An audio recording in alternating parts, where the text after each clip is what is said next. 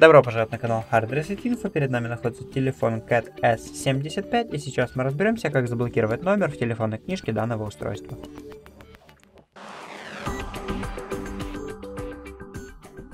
Итак, для этого мы переходим в приложение телефон.